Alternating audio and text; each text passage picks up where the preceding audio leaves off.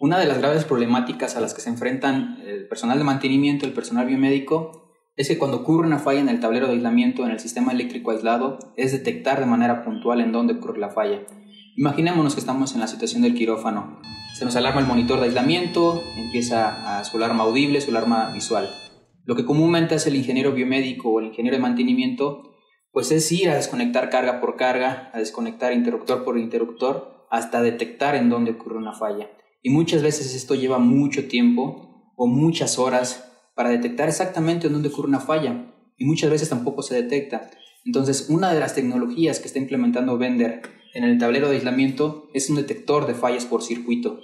Es este equipo que ven ustedes aquí. La matrícula es EDS 441, les digo de la marca Vender. Son equipos completamente certificados ante UL y originales de la marca Vender, compatibles con los tableros de aislamiento de la marca Vender entonces, lo que hace este equipo, imaginémonos, eh, ocurre una, alarma eh, en una sección del quirófano, en un tomacorrientes, en lámpara quirúrgica, en un equipo de anestesia, en un equipo biomédico en específico. Entonces, se nos alarma nuestro monitor de aislamiento de línea y lo que va a hacer este equipo en específico, mediante unos TCs de corriente, unos transformadores de corriente, es detectar exactamente en dónde ocurre una falla. Nos va a decir de manera puntual en dónde, dónde ocurre una falla. Entonces, Vamos a hacer una simulación para que ustedes vean cómo funciona esa tecnología.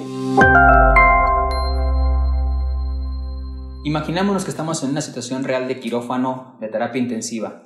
¿Qué ocurre realmente en estas áreas cuando está ante una falla? Bueno, lo vamos a hacer una simulación. Tenemos aquí un equipo de Vender LT3000 en el cual podemos nosotros inyectar una corriente y simular una falla, una falla real en el sistema. Entonces vamos a simular una falla real en el monitor de aislamiento de línea eh, ocurre normalmente esto, cuando supera los 5 mA, el monitor de aislamiento empieza a alarmarse. ¿Qué ocurre en este, en este momento? Bueno, se puede silenciar la alarma audible, pero no se va a quitar la alarma hasta que se detecte de dónde está ocurriendo la alarma y desconectarla o el fallo. Entonces, ocurre normalmente esto actualmente en un quirófano, una terapia intensiva, se alarma el monitor de aislamiento, viene personal de mantenimiento, personal biomédico y empiezan a bajar interruptor por interruptor o desconectar carga por carga para detectar en dónde se está alarmando el sistema, en dónde está ocurriendo una falla peligrosa para el paciente. Entonces, actualmente sucede eso y les digo, esto nos lleva mucho tiempo en detectar eh, dónde ocurre exactamente una falla. Con un equipo de detección de falla por circuito, lo que va a hacer el monitor de aislamiento es mandarle un pulso a este equipo y que empiece a detectar en cada una de las cargas en dónde está ocurriendo esta falla. Lo que van a ver ustedes en el dispositivo EDS es que nos va a decir en la pantalla exactamente en qué circuito está ocurriendo la falla. Como lo vemos aquí, dice en el circuito número 5. Por lo tanto, quiere decir que lo que tenemos conectado en esa carga es lo que está ocasionando la falla. En el momento en que la falla se quite, ahorita lo vamos a ver en un momento con el monitor se va a desconectar la falla, también el detector de falla por circuito en un momento la va a desconectar. Entonces quiere decir que no tenemos ninguna falla en el circuito.